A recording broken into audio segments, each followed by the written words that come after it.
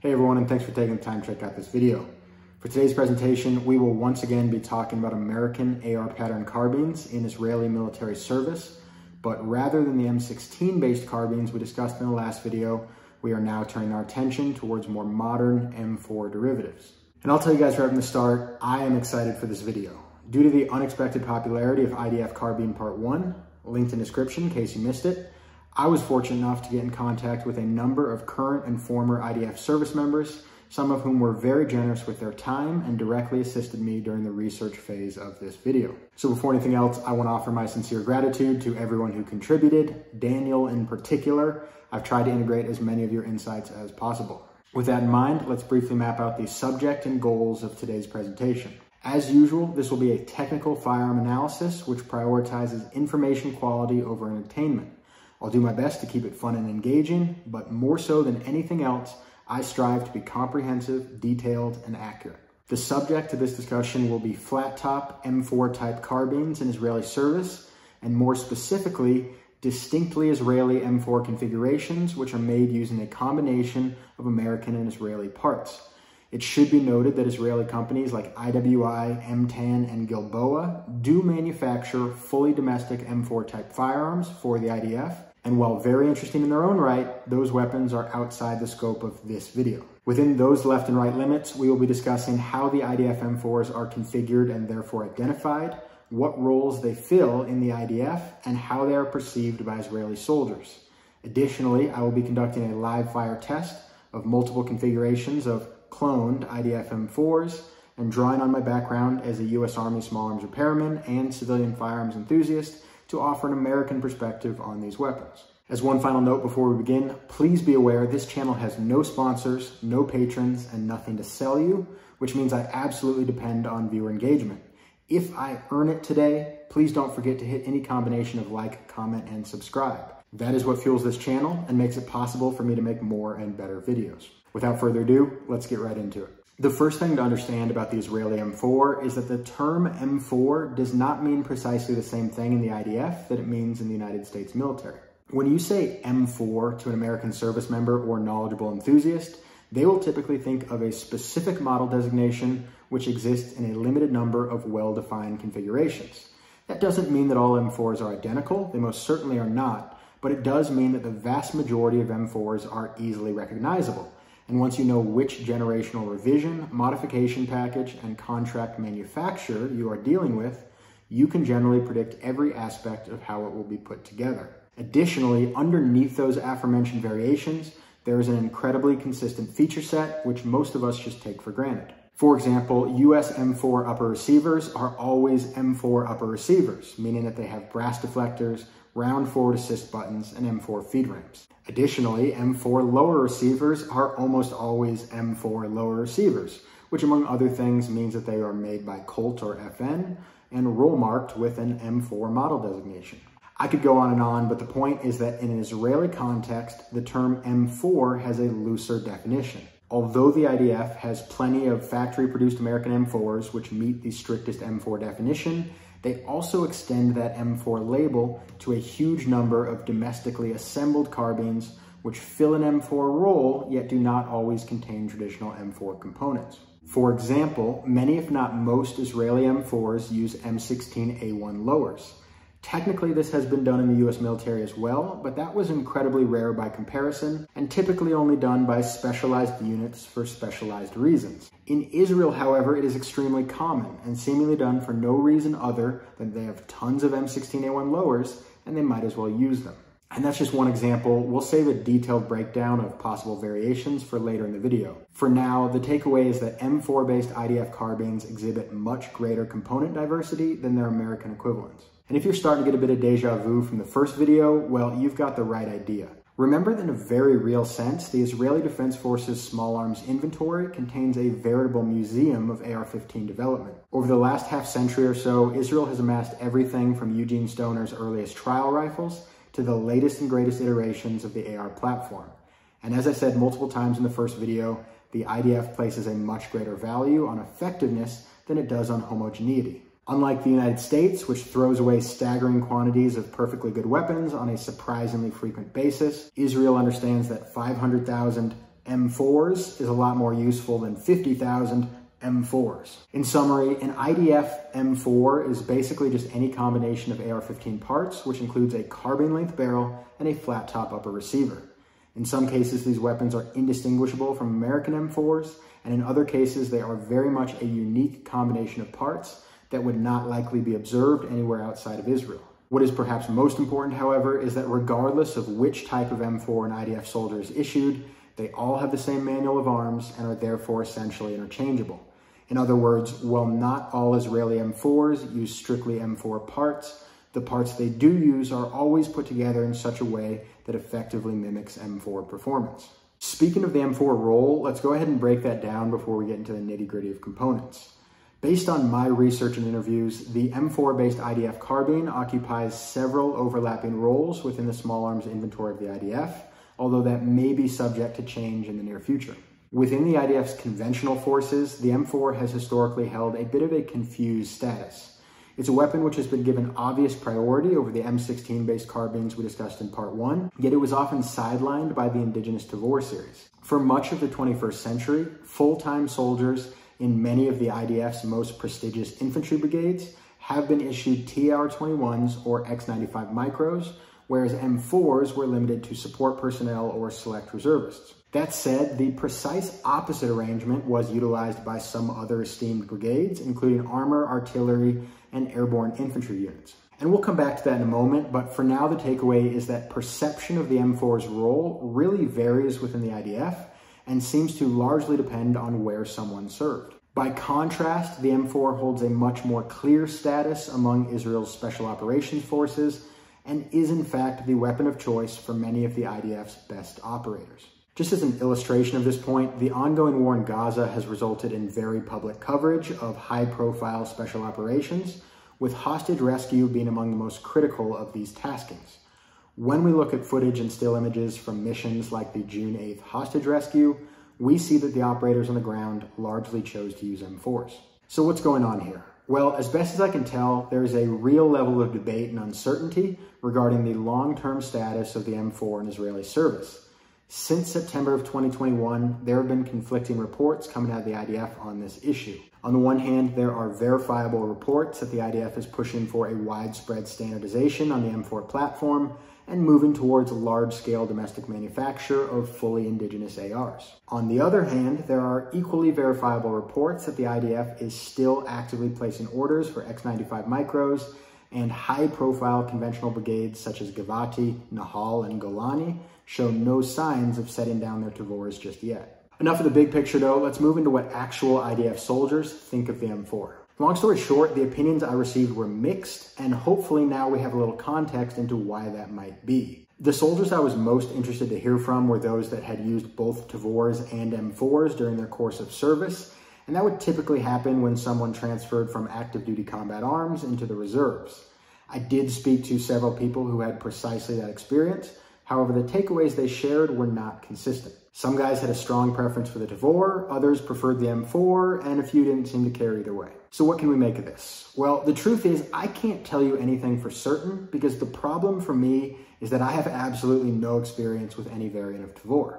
I've heard many things from people that I trust, and I will admit I carry a baseline skepticism for bullpup designs in general. However, I still try to avoid commenting on things I don't have firsthand experience with. So as to how those two weapons actually compare, I'm not the one to say.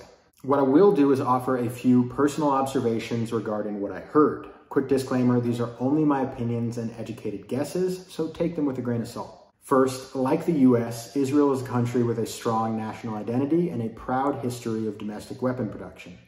In reading messages from IDF soldiers, I was left with the impression that at least for some, there was an undercurrent of bias in the comparison based on national pride. Tavors are marked in Hebrew, M4s are marked property of the US government, and for soldiers putting their lives on the line for the Israeli state, that could be a factor. How much of a factor that really is, I have no idea, and of course it should be acknowledged that I as an American might well exhibit an opposite bias, but either way, it does make me curious just how Israeli perception of M4s might evolve in the event that 100% Israeli-made examples were broadly issued. Perhaps something to pay attention to in the future. A second interesting factor I think I might have picked up from the comments is the idea that for some IDF soldiers, Tavor rifles and the X95 Micro in particular carry an elevated status due to their association with elite conventional infantry units and therefore a vaunted arm of Israeli ground power. Depending on where an IDF soldier served, he or she may express an opinion based more on the role they have seen a rifle fill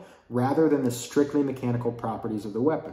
Once again, I'm totally speculating, but these types of conflations absolutely occur in the US military, so I think it's a possibility worth considering here. Third and finally, I had a few IDF soldiers make comments to me about the M4's poor reliability under field conditions, and considering that a huge portion of my job in the US military was M4 maintenance, I have strong opinions on that. For the purpose of this video, I can barely scratch the surface of what I want to say on the subject, but the most important takeaway is that reports of poor M4 reliability tell me a lot more about the unique challenges faced by IDF armorers than they tell me about the weapons themselves. Keep in mind that despite the enormous amount of real world experience the IDF has on the AR platform, it's still a small splash in the bucket compared to the data that the US Ordnance Corps has gathered on its standard service weapon of over 50 years. For Americans like myself, the strengths and weaknesses of that particular weapon are a well-defined quantity. A properly maintained M4 is one of the most dependable small arms ever devised. However, that performance does come with a preventative maintenance burden that is higher than some of its competitors. That burden isn't what I would call unreasonable, but it's certainly much higher than something like a Kalashnikov pattern, which can often go tens of thousands of rounds without seeing a drop of oil or a single spring replacement. And before anyone accuses me of swooning too hard over the Kalashnikov, I'll also point out that most AKs have holes in the receiver large enough for a small marsupial to crawl into. Meanwhile, ARs are exceptionally well sealed from the elements. And the point of all that is simply to highlight that combat reliability isn't some simple metric defined by a single factor, but rather a complex set of characteristics which often involve some degree of trade-off.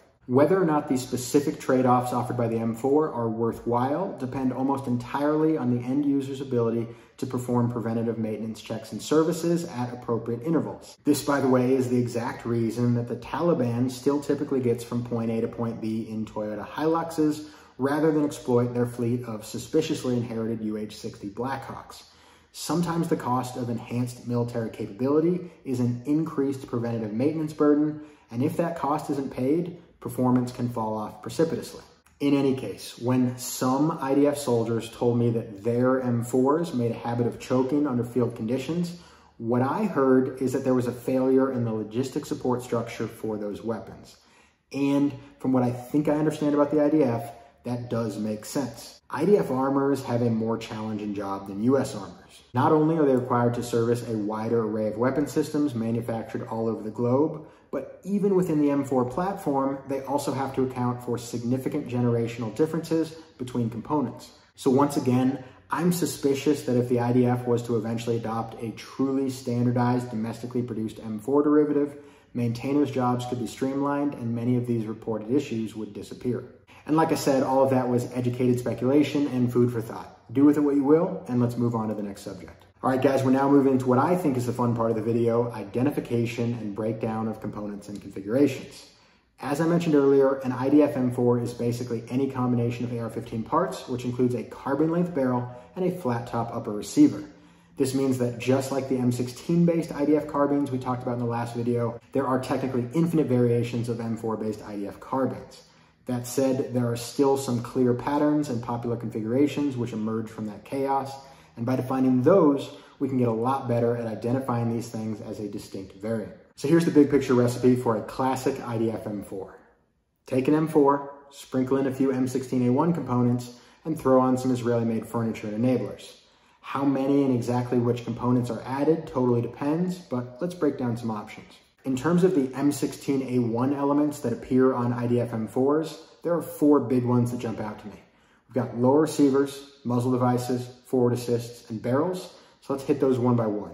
We're gonna reference this photograph as we go, as I think it really captures the essence of the variant. We're looking at two Israeli service members here. I'm guessing a team leader communicating with a designated marksman. In other words, two women following the same SOPs, using the same weapon in different roles. At first glance, both weapons appear to be fairly typical M4s, but let's look a little closer. We'll begin by directing our attention to the lower receiver of the soldier on the right, where we see a protruding detent channel aligned with the rear takedown pin.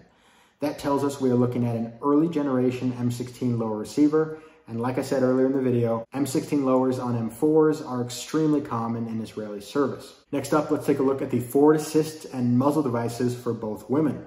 The soldier on the right has the round style forward assist and 180 degree A2 flash hider, exactly what we expect to see on an American M4.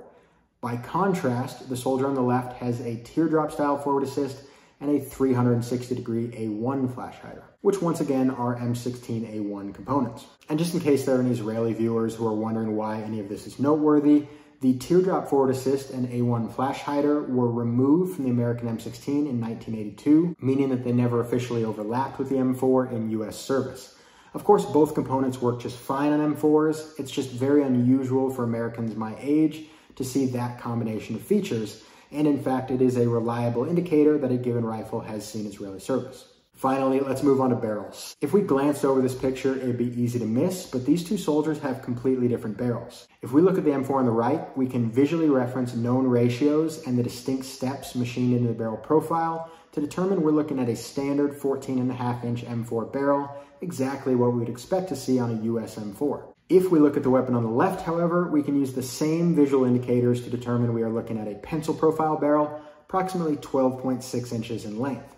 And if you watch my last video, you already know what's going on here. It pretty much has to be an M16A1 barrel, which was converted for carbine use according to the procedure I detailed previously. And this is just one example, but the takeaway is that we will see a wide range of barrel profiles and barrel lengths on IDF M4s that we would not typically see on an American M4. Specifically, we see pencil profile barrels and we see unusual lengths between 10.3 and 14.5 inches, which is popular in the American commercial market, but not frequently exploited by the US military. As one additional note, this almost certainly means that the Israelis have had to perform modifications to feed ramps, as M16A1 barrels will not generally work reliably on M4 upper receivers without reprofiling the steel feed ramps present in the barrel extension. This is just another example of how the jobs of Israeli armorers are more complicated than those of their American counterparts. With all that said, the very last thing I want to point out in this photograph is that in addition to highlighting the heterogeneity of IDF M4s, it also illustrates the underlying order and logic behind their construction. Despite these weapons using different generations of imported parts, they are also standardized where they can be, and the functional differences between the weapons complement the roles of the women carrying them. For example, you will note that the soldier in the marksman role has the longer, stiffer barrel, in a length which will correspond to the BDC reticle in her optic. Additionally, she has the muzzle device most suited for firing from a prone position, which is important considering that her weapon has a bipod. Nothing about this is haphazard. The IDF may use an eclectic range of parts, and sometimes this may lead to unique challenges, but let's also be crystal clear that they understand how these parts work and they utilize them in ways that make sense. Speaking of accessories like optics and bipods, let's move on to talk about furniture and enablers. If there is a single best way to identify an Israeli M4, it is probably by identifying the distinctly Israeli furniture enablers which are often installed. After all, only some IDF M4s exhibit M16 components, but almost all exhibit some level of Israeli add-ons. So let's break those down. In terms of butt stocks, obviously we see plenty of USGI CAR 15 and M4 stocks, but we also see a ton of indigenous Israeli designs, with the FAB GLR 16 and IMI TS1 being particularly popular choices. American commercial designs also appear at a lower frequency, such as this excellent Magpul CTR we're looking at now. As far as pistol grips are concerned, once again, we see a lot of USGI A1 and A2 pistol grips, particularly A1s, but the Fab AG43 grip also shows up a lot. Moving on to rail systems, this is a bit more complicated, so I'll break it up into four categories. We've got rail accessories for standard polymer clamshell handguards, got drop-in polymer rail systems, we've got drop-in aluminum rail systems, and we've got free-floated extended handguards. Most IDF soldiers seem to be issued standard clamshell handguards, However, they typically have the option of enhancing those handguards with privately purchased accessories. The most cost-effective way to accessorize such handguards is to use Picatinny rail portions designed to attach directly to the existing vent holes. This is not a particularly strong mounting solution. However, for something like a weapon light, I think it's a good option. Also included in this category should be Picatinny rail portions which clamp directly to the front sight block. Technically this isn't a handguard accessory, but it provides the same functionality and probably does so in a more sturdy fashion. Once again, these are very popular in Israeli service. Another option is aftermarket drop-in polymer handguards, and these are also quite common on issued IDF M4 setups. Here are a couple offerings from Fab Defense. This product basically clones the form factor of standard clamshells with the addition of molded Picatinny rail portions, and this one is essentially just a Magpul MOE M-LOK handguard. Here is exactly that product being used in 2024 by a friend of this channel. Either way, these are still low-cost solutions. However, the mounting interfaces they offer are going to be significantly more robust than clamshell vent holes, which were never intended to mount accessories. Also, something I like about both of the products we just showcased is that neither includes a 12 o'clock top rail, and I hope this discourages people from mounting optics and lasers. I do see that sometimes on IDF setups, and while I try not to be a backseat driver in matters of life and death, that is fundamentally a weak solution that should be avoided whenever possible. Next up, of course, we see plenty of drop-in aluminum quad rails. In addition to USGI rail adapter systems made by Knights Armament or P&S, we see three primary Israeli-made models. These are the FAB NFR, the Command Arms XM4SD, and IMI's creatively named aluminum quad rail carbine drop-in. And if anyone at home is curious how to identify these different products in pictures or video, the trick is always vent holes. The American RAS has seven large circular vent holes, the Fab NFR has 14 small circular vent holes or 11 diagonal slashes. The Command XM4SD has five oblong vents and the IMI product has two rows of seven oblong vents. Regardless of which product is being used, however, aluminum handguards like these allow you to start having a real conversation about mounting devices which need to hold zero. And as one last aside, we do occasionally see rail extensions being used in the IDF. I don't have any personal experience with these, but I have seen products that look just like this, being used by the United States Marine Corps. Finally, it should be noted that just like everyone else, the IDF is moving towards deleting FSBs entirely, switching to low pros, and using full-length free-float handguards with proprietary barrel nuts. Like in the US military, however, the use of such setups seems to be currently limited to more specialized roles, and I'm not going to break those down in this video. Who knows, if this video does well, there might just be an IDF carbine part 3. With rail systems out of the way, let's bang out a few more quick ones. I see tons of backup iron sight designs out there with products from MTAN, Fab, and IMI of Israel and Samson of the US turning up frequently. Regarding weapon lights, once again, we see a wide range. A particularly noteworthy brand I kept seeing is Nitecore. I've not personally seen this company's products in the US. However, after a little research, they seem to be comparable to Streamlight in quality. These are often configured with a tape switch and a distinctly coiled cable. Vertical foregrips are extremely popular on IDF M4s, and there are a huge array of distinctly Israeli designs out there, most of which are made by Fab Defense. These include fairly typical models, unusually angled models, and models with integrated bipods. Additionally, as I mentioned in the last video, magwell grips show up quite frequently as well, and once again, that's a feature we really don't see so often in the US. Next, we have these tourniquet style handguard wraps. They're not actually tourniquets, they're just wraps. I'm just referring to the mechanism by which they lock down. And these appear to be a more robust and versatile iteration of the green and black elastic straps we discussed in the last video. In addition to removing vibration from clamshell style handguards, these can be used for cable management and also serve as a forward sling attachment point. Remember that the Israelis are very disciplined with removing extraneous noise sources from their weapons, so we're still seeing a lot of improvised fabric and paracord based sling attachment points rather than the rattly factory sling swivels. Last but not least, let's talk about electro-optical aiming devices, and this is a subject we'll spend just a bit more time on. There are a handful of optics commonly seen on Israeli M4s, but by far the most popular is the Meprolight M5. And for all practical purposes, we can consider this a combination of the US M68 close combat optic and the SU-231 holographic. Like the CCO, it is a robust non-magnified reflex sight. However, it offers a wide open targeting window more akin to the EOTech. Also, unlike the Meprolight M21 we discussed in the previous video, it uses battery power and offers 16 user adjustable brightness settings. Issued M5s are sometimes seen complemented by one of several models of Meprolight magnifier, which I'm led to believe are usually privately purchased rather than issued. Jumping back to that Meprolight M21 for a moment, we do still see plenty of these in use on IDF M4s. However, they are not nearly as common here as they were on the M16 based carbines. There's probably a few reasons for this, but one of the most obvious is that the IDF clearly has a large number of proprietary gooseneck mounts, which only allow M21s to be mounted to carry handle uppers. In addition to those Meprolight models, we also see several popular American optics, the most common being 4-power ACOG RCOs and what appear to be EOTech XPS 3s. ACOG optics are exclusively issued to marksmen, and from what I can tell, EOTechs are most popular with higher ranking soldiers, like this gentleman whose face screams brigade commander. I can't read Hebrew captions though, so feel free to correct me in the comments below. Lastly, we do see a smattering of less common American optics, such as this SIG Romeo 8, which strikes me as an excellent, if not a little unusual choice. Now, I realize I just said lastly, but the truth is we aren't done with optics yet because we still need to talk about IR devices, and that leads us to a very interesting revelation. In addition to using conventional IR devices such as the American PEQ-15 and the Israeli Sting, the Israelis are rather unique in their use of hybrid reflex sights which incorporate IR and visible designators slaved to the reticle. The specific models in widespread use are the Meprolight MOR and the ITL Mars. Frankly, I am fascinated by this concept, and I see it as a way to potentially save a huge amount of weight on a night vision capable fighting carbine. Although these optics are fairly chunky compared to standard reflex or holo sights, they are very light when you consider that they eliminate the need for an additional laser aiming module attached to the front of the weapon.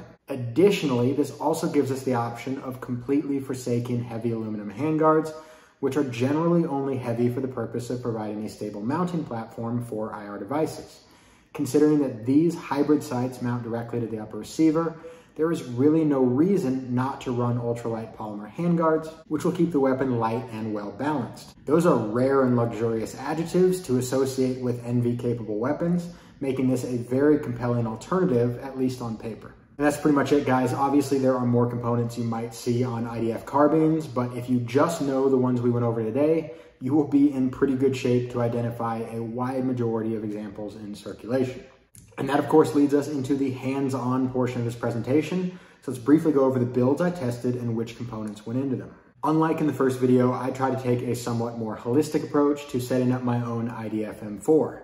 To that end, rather than just create one setup, I tried to test a few configurations to loosely simulate what a soldier might be issued by the IDF and how that soldier might upgrade their setup using parts commercially available in Israel. So let's break that down. In terms of the lower receiver assembly, I used a pretty basic M4 lower setup with carbine buffer assembly, A1 pistol grip, and CAR 15 stock. Over time, I swapped in an Israeli-made GLR 16 buttstock, an AG43 pistol grip, and a Magwell grip. As for the upper assembly, the basic platform was of course a flat top M4 upper, and I used two barrels, one 14 and a half inch M4 profile barrel with A2 muzzle device, and the same 14.7 inch pencil profile barrel and A1 muzzle device I used in the previous video. It would have been a bit more accurate if I was able to cut down that pencil profile barrel to be a little shorter, but due to US federal law, that just wasn't possible for this project. Both of these uppers achieve a total length of 16 inches with their pin and welded muzzle devices, and I didn't want to register a short-barreled rifle for the purpose of a single video. And once again, if any Israeli viewers are wondering what the heck I'm talking about, it really doesn't matter. US gun laws are permissive in some ways and very much not permissive in others. It's hard to predict. More importantly, for the point of this presentation, the weight reduction present in a 14.7 inch pencil profile barrel is still very noticeable. I think it's still a great stand-in for the chopped down M16 barrels commonly seen on IDF M4s. Either way, I tried to make up some clone correct points by throwing a teardrop forward assist on one of the tested uppers. In terms of furniture enablers, that's where I tried to get a little bit deeper. My most basic sight setup was a Samson IDF rear sight and a Meprolight RDS Pro V2 optic. That, by the way, is the commercial market designation for the M5, just as Comp M4 or Comp M2 are commercial market designations for the M68 CCO. The product is the same, however, the procurement channels and warranty processes are different. As for the front end, I started with standard M4 clamshell handguards with a Picatinny rail portion and weapon light attached to the six o'clock position. I was unable to source an authentic Israeli handguard wrap. However, I did hand sew a rough facsimile, which functions as a sling attachment point and cable management device. It also retains and presents this heavily modified Streamlight tape switch. As testing went on, I replaced the rear sight with a Meprolight MMX3 magnifier, and I replaced the handguard with a Fab NFR aluminum handguard. Also threw on a Knights Armament vertical foregrip. Obviously, I could have bought an Israeli foregrip, but frankly, I think foregrips are pretty boring, and I figured my budget would be better allocated to other components. So those are the builds. Let's talk about how they performed. Bottom line up front, these are M4s. They aren't particularly exciting, but they do exactly what an M4 is supposed to do. With that in mind, I will say I had a much different experience shooting these than I had shooting the M16 based IDF carbine I tested in the first video. And upon reflection, I think that all comes down to expectation bias. I went to the first video expecting technology from the 1980s and 1990s, and consequently, I ended up very impressed when the weapon performed like a 21st century fighting carbine. My expectations were lowered and therefore easily exceeded. I came into this video expecting 21st century performance, and while that's exactly what I got, I was comparatively less impressed. I came in with a high bar, and that bar was cleared, but only barely. So what's the takeaway? Well, it depends who you are. If you're a procurement officer outfitting a military unit, there's no question that the M4-based IDF carbine is a more broadly capable weapon system than its M16-based uncle. If you happen to be an individual soldier or an armed citizen, Honestly, I can imagine circumstances under which I might make a case for either weapon, but the M4 still wins out more times than it doesn't. Again, it's more broadly capable. If, however, you're a collector, not unlike myself, I tend to think that the M16-based IDF carbine is overall a more interesting specimen. It might not be the latest and greatest, it certainly isn't, but it's shockingly capable for its age and probably one of the most iconic CAR-15 variants on the planet.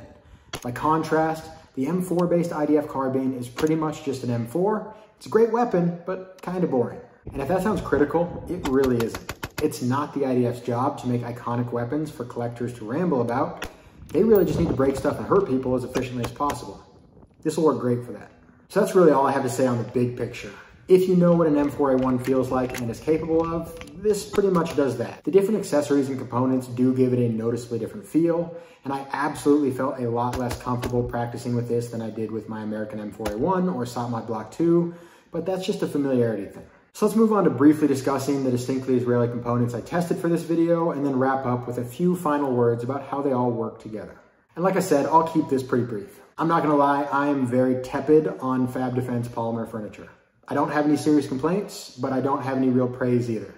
If it's what you got, it seems like it'll work fine. Personally, I'm gonna stick with Magpul, BCM, and B5.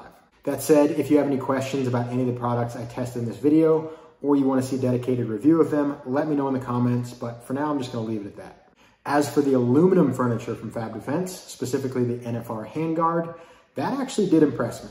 I wouldn't say it's anything special, however, considering that I purchased this item new for about 100 US dollars, it well exceeded my expectations. I did take the time to do a little head-to-head -head abuse testing to see how this handguard held zero compared to a couple US options, and it did really well. It outperformed a Troy battle rail that cost $150, and it performed identically to a Knights RAS, which cost north of $300. Keep in mind I'm working with a sample size of one, but based on that limited experience, I would have no problem using this product personally or recommending it to a friend. It seems like a solid product at a great price.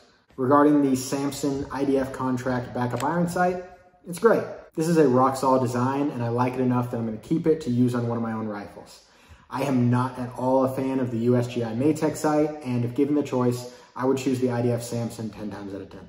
As for the Meprolight M5 and MMX3 magnifier, this is where things get interesting. So interesting, in fact, that I've decided to save that for a separate video. I just don't think I have time to break that all down today. For the purpose of this video, I'll summarize that upcoming review by simply saying the tested Meprolight optics are very good, but not perfect. When directly compared to the duty grade Aimpoints and EOTechs that we tend to favor in the US, I think the Meprolights offer serious competition. I'm still gonna give the raw performance edge to the American and Swedish products. However, I think there is a strong argument that Meprolight ultimately delivers more bang for your buck. The thing is, Meprolight products are available in the US market at a sizable discount compared to their most immediate competitors. And while I do think that some of those competitors are technically superior, I would say the difference in price is greater than the difference in performance. For that reason, I am hopeful that Meprolight figures out how to break more deeply into the US market. I think they have a place here. All that said, the Meprolights certainly aren't perfect. I didn't discover any critical flaws in either product I tested. However, I did identify three frustrating oversights in the designs. I use the word frustrating, particularly in reference to the M5, as I think that optic is only a couple of small and inexpensive design tweaks away from being exceptional rather than just very good. I'd love to see Meprolight fix those things. So once again, if you're interested to know exactly what I'm talking about here and want to see a review of either or both of those products, go ahead and check in the description of this video. That's where you'll find the link as soon as it's available. And if it's not there at the time you're watching, you could always consider subscribing. That way you'll get notified when it comes up little self-promotion. Um, either way, it should be one to two weeks tops. So with all that out of the way, I think the last thing I want to do before wrapping up is to try and synthesize what I've learned by highlighting a few IDF M4 setups that make particular sense to me, especially in comparison to US alternatives. As a guy who spent his service primarily using heavy SOCOM profile 14 and a half inch barrels, I find the Israeli use of 12.6 inch pencil profile barrels extremely compelling. As such, I think setups like the one being used by this young woman make a whole lot of sense. This is a classic KISS carbine. It probably has a dry weight right at six pounds, and that's amazing for an M4. Obviously, a weapon light, laser, and magnifier can be nice to have, but as I mentioned in the last video, there is still a place for classic ultralight carbines. Sometimes simplicity has a value of its own, and it really depends on the user's occupational specialty. If a person's primary job is gunfighting day in and day out, yeah, we're probably gonna wanna make some changes here. But many other service members are most lethal when their weapons are slung and their hands are operating other equipment. For a person in a role like that, I think a carbine like this makes a ton of sense. Additionally, it should be noted that even if you have a job like this gentleman, which requires you to roll heavy on enablers, a short pencil barrel can really help offset that additional weight. If there's one thing the U.S. Ordnance Corps has been consistently bad at, it is selecting barrel profiles that complement a weapon's role, and I think there's an argument that we in the U.S. let go of pencil profile barrels prematurely. It personally makes me really happy to see that barrel profile live on in the IDF.